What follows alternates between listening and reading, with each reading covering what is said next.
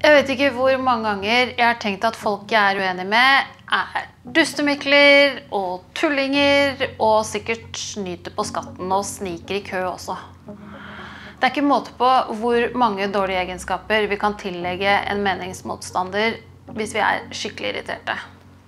Dette er en tankefeil som heter ad hominem, eller på godt norsk personangrep. Personangrep er en tankefeil fordi man angriper personen man diskuterer med, istedenfor argumentene til den personen. Tenk deg at du diskuterer, eller krangler, da, som det fort kan bli, med samboeren din om hvem som skal vaske badet.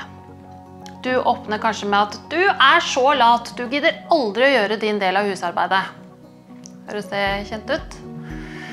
Når man kommer med et sånt bjeff, er man da egentlig ute etter å løse noe, eller vil man bare kvitte seg med litt opplagret irritasjon? Når du tillegger den du diskuterer med dårlige egenskaper istedenfor å adressere det du egentlig er ute etter, nemlig å få vasket badet i dette tilfellet, ja, da begår du en tankefeil av denne typen.